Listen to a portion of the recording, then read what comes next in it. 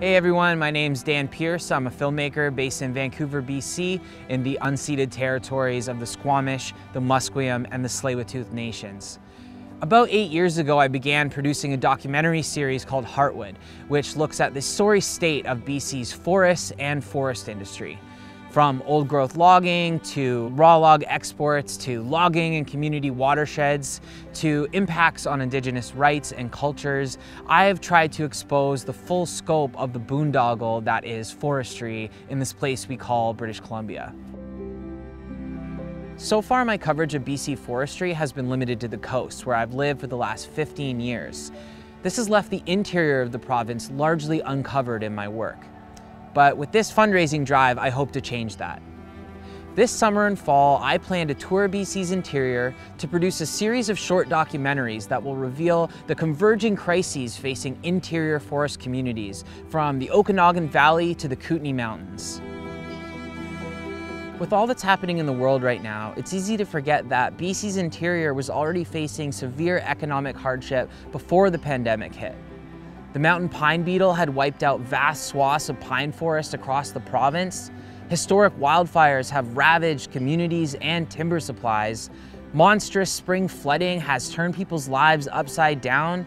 And a century of overlogging and poor forest management has left BC's forests less resilient to such calamities. As a result of this perfect storm, dozens of sawmills have closed up shop in recent years, leaving hundreds of forestry workers unemployed. It's time for the voices of Indigenous and settler folks from the interior to be heard and for these stories to be told.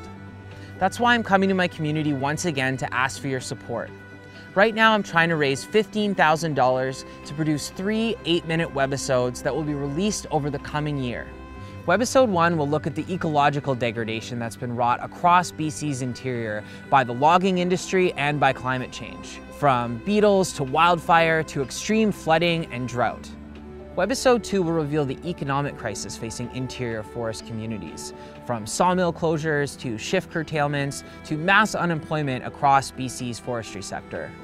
And Webisode 3 will attempt to articulate how BC's forestry laws must change in order to protect ecosystems, rural communities, clean drinking water, and Indigenous sovereignty. In light of the global pandemic that's still underway and the importance of obtaining free, prior, and informed consent from Indigenous peoples, I'll be following all proper protocols and seeking permission from all nations and communities that I hope to visit, as well as following all COVID-19 guidelines.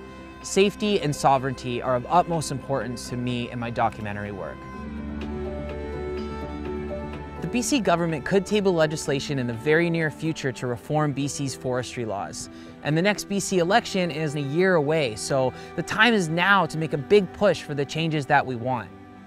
Please consider donating to my Heartwood documentary so that I can produce a hard-hitting series of webisodes that will help build momentum to radically transform BC's forest industry.